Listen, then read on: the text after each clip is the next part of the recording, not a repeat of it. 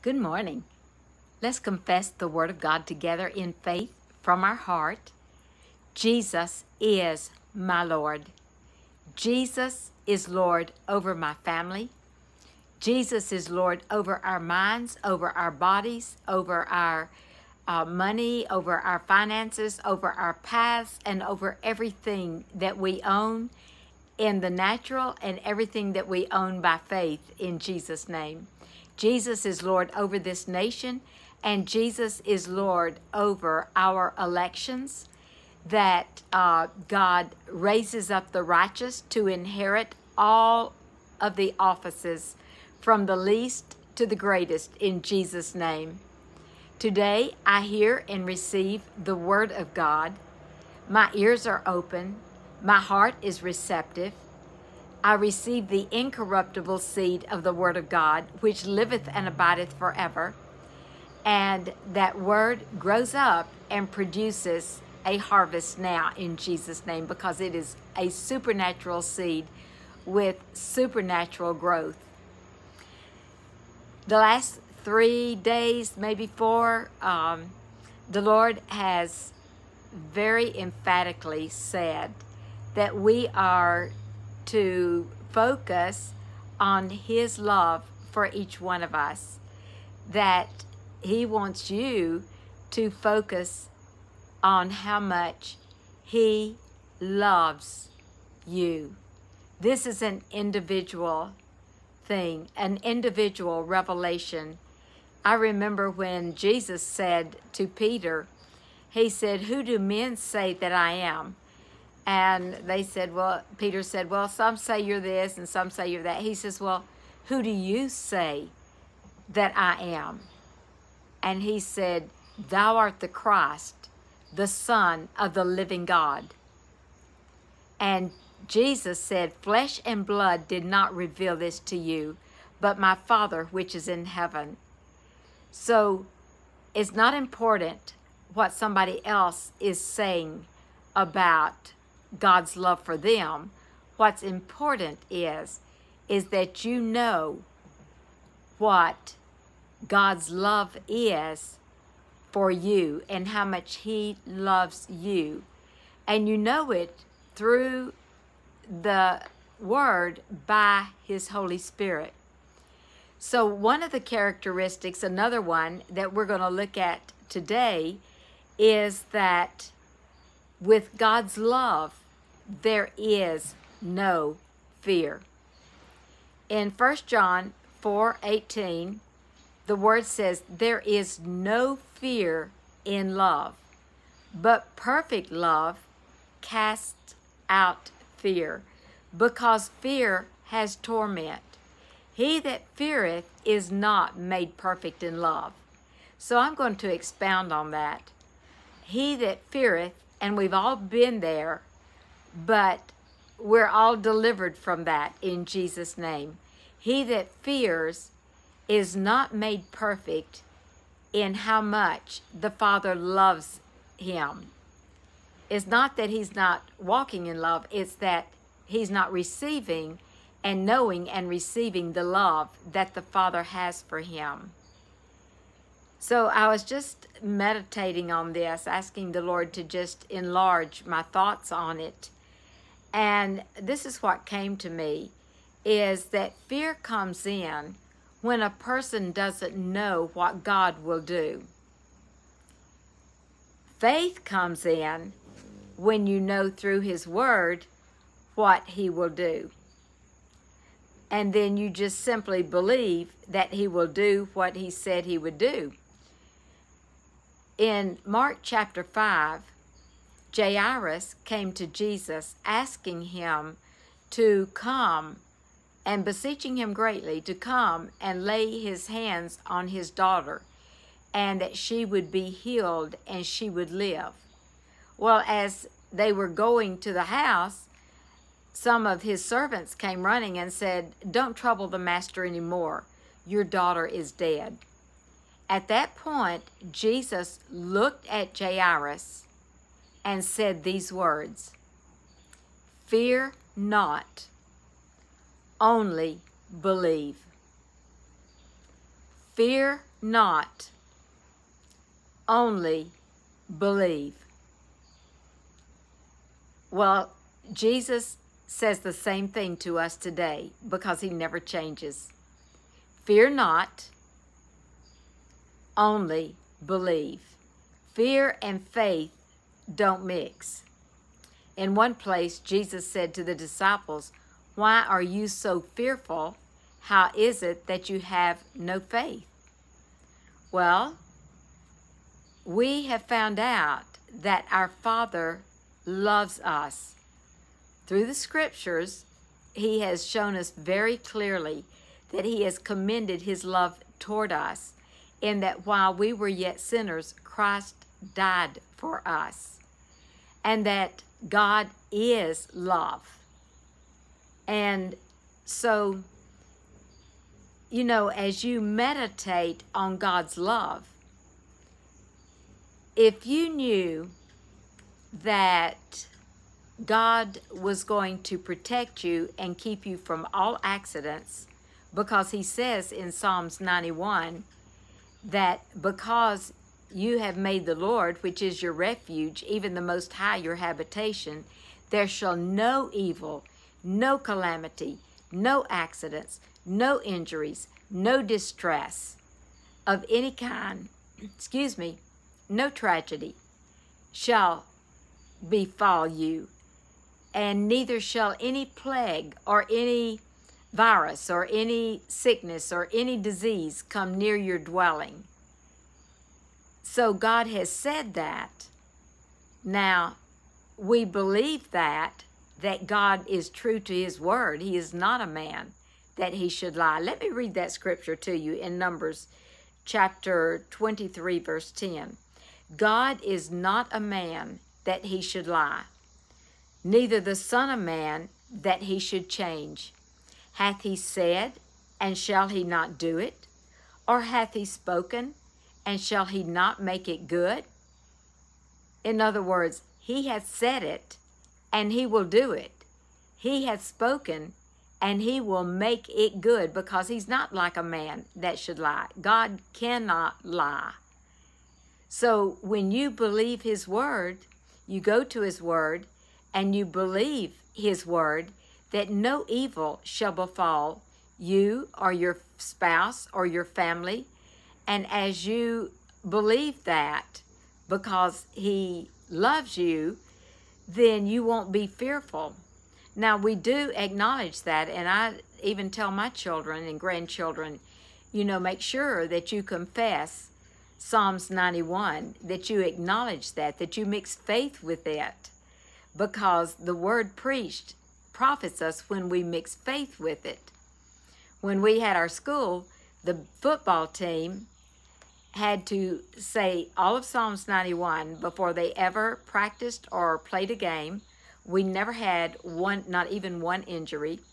And before any of the children went to PE, they were required to learn um, Psalms 91 and then say it before they went to PE. We never had an injury because Psalms 91, God kept his word.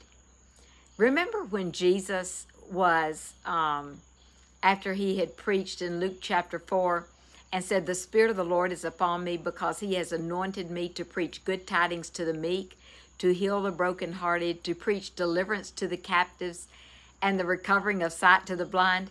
You know, every bit of that is good news, right? And then um, he made some other statement, and they tried to throw him off a cliff. Well, God protected him because Jesus knew that his Father loved him and that he would protect him and keep him from all harm. So he just walked through the midst of them. Well, you are protected and and your paths are perfect. I say all the time over my family that he leads us in perfect paths because of our enemies. You know, God knows where the bad people are because he knows the heart of all people. So he will see to it that he leads you in perfect paths to where you are never around any evil or wicked person and will not allow them to come where you are, whether you're at church or whether you're in a grocery store. He, he will protect you. Say that. Say, My Father will protect me and my family at all times. No evil shall ever befall us. So we simply mix faith with that word. Well, God has said that He will abundantly bless your provision, that He will supply all of your needs, your desires, and wants according to His riches in glory. He has also said that wealth and riches shall be in your house. He has also said, The blessing of the Lord hath made you rich and adds no sorrow with it and many other scriptures on that. So if you believe that, then there is no fear because God will give you the abundant supply of the best of everything food, clothes, automobiles, houses. That's your Father. You don't have to budget it, you just have to believe for it, right? So, since you know how much your Father loves you, and that He has promised you these things, then as you believe that, then you have no fear. You have faith for the things that God has promised you. Or what about this? That He says in Deuteronomy 7 that He will take sickness away from the midst of you and will not allow any of the evil diseases of the world to come upon you. So you mix faith with that, that he has taken sickness away from the midst of me. You believe that if there's been sickness in your body, you go to 1 Peter 2.24. You go to Psalms 103, uh, 1 through 3. You go to Psalms, I believe it's 107.20. That doesn't sound right. Uh, that he sent his word and healed them and delivered them from their destructions. And of course, like I gave you Deuteronomy chapter 7, and you just mix faith with those. And in Jeremiah, he says that he will restore health to you and heal you of your wounds. Well, when you believe that, no matter what age you are, this these promises are for every age. For you to live in divine health all the days of your long life on this earth. Never be sick. Never have a headache. Never have any sinus problems. Never have any allergies. Never have arthritis. Never have uh, bad eyesight or bad hearing or anything like that. No, this is all in the redemption. So you just simply go receive it and then stay in faith according to the word that these things will never come on you. So since you know by the word of God what he will do, then there is no fear in love because these are the promises of your Father and that he will hasten his word to perform it. You know, the book of Job, the key there is that Job said, The thing that I feared came upon me, and that which I was afraid of has come unto me. So the fear that he had drew those things to him, uh, the destruction to him. Satan couldn't have done it had he not feared it. So we are delivered from fear and we have the same spirit of faith. We believe and therefore we speak. Now, you may have to voice that a few times if your thought patterns have been otherwise. And the way you do that is you just simply say, No, I don't have a spirit of fear, but I do have the spirit of faith in Jesus' name. I fear not, I believe only. In uh, 1 Timothy chapter excuse me, 2 Timothy chapter 1 verse 7, for God has not given us the spirit of fear, but of power and of love and of a sound mind.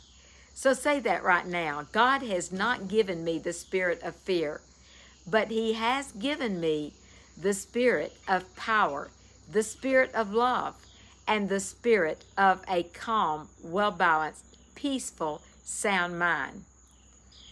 So, knowing the Father's love for you and believing that, and believing that He will bring the best to you, that only good things will come to you. I love how Frank would minister this in John 10 10, where the Lord said, um, The thief comes not but for to steal, to kill, and to destroy. But I am come that you might have life, and that you might have it more abundantly. Well, draw a line, like Frank would say, down the middle. If it's stealing, killing, and destroying, then if if those thoughts are coming to you, then you say, No, I don't take those thoughts. But then you replace it with the good thoughts of no, this is what I have. This is what I believe. And you know, um, social media and the news media, they are they are going to plant negative, evil thoughts, the worst. But they those things don't belong to you. You belong to your heavenly Father and you're living in and out of the kingdom of God. So the way God intends for you to live is that sickness and disease never even comes on you. That you are healed and whole for the rest of your long life on this earth. That you have a perfect and just memory, a soundness of mind, the mind of Christ. So a perfect mind, all the days of your long life on this earth. You have perfect hearing. God keeps you and your family safe always. And only good things come to you. Like David said in Psalms 23, he said this, so you say this. Surely and only goodness and mercy follow me all the days of my life.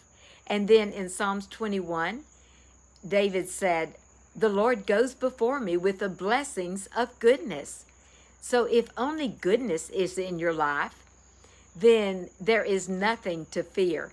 And as you believe that, and that God prospers all of your children and grandchildren and their spouses, and that just everything in your life is blessed of God. You see, Satan was defeated. Jesus totally defeated Satan. In Hebrews 2.14 says that he destroyed him that had the power of death. Satan no longer has the power of death unless you give him authority by the by your fear and by the words of your mouth. Well, I shouldn't have said your fear because you're delivered and redeemed from fear. And you are full of the love of God. So meditate on the love of God. In uh, Jude, verse 20, he says, But you, beloved, building up yourselves on your most holy faith, praying in the Holy Ghost, keep yourselves in the love of God. That's up to you. Keep yourself in the love of God. In other words, you stay in God's love for you. You stay in how much He loves you. And you just constantly meditate on, my Father loves me. He is always protecting me. He is always keeping me well. He is always keeping me strong. He is always keeping me from falling. Um, let me finish this, then I'll share a th quick thought. Keep yourselves in the love of God, looking for the mercy of our Lord Jesus Christ unto eternal life. So we're to constantly look for his love and his mercy. But when I mentioned that about he will keep you from falling, anytime we would go skiing, I would go to that scripture. I took it literally, and I would just say, Now thanks be unto God who's able to keep me from falling. And I had some near misses, but once I started saying that and confessing that, I would just almost sometimes even run into somebody or they would run into me and I would go, now thanks be unto God who's able to keep me from falling. And all of a sudden I'd straighten up and go on down the hill. So the power of the word And he even says in Psalms 91 that he will bear you up lest you even dash your foot against a stone. Hey, that's any age. We don't lose our equilibrium. We don't lose our balance. We don't lose um, anything. We and listen, we're redeemed from being smitten in the knees and the legs, in the hips, with the sore botch from the top of our head to the sole of our feet. So God keeps our bones and our knees and our hips and our hands, everything strong all the days of our life. If you will believe that, that is the love of the Father. So again today, all day, just thank God that He loves you, that He is protecting you, that He is making only good things come to you, that the devil has run from you in stark terror. You know, I hear uh, from time to time people say things about, or preachers say things about when the devil comes against you. He cannot come against you if you're resisting him. No, the word says resist the devil and he will run from you in stark terror. So we just stand in faith against him that he can't even come near you. Amen? He cannot, if you will stand against him, he cannot touch anything that you own. He does not have any authority unless you um, listen to his lies that he can. No, he cannot. You are in the realm of faith. You are under the shadow of the Most High God. Well, meditate on those things today and, and acknowledge with your mouth. Declare God's love over you and your family. Declare it. And let me tell you, that love will drive any fear out. Remember all day, Jesus is Lord. Thank God for his word and thank God for his love. He loves you.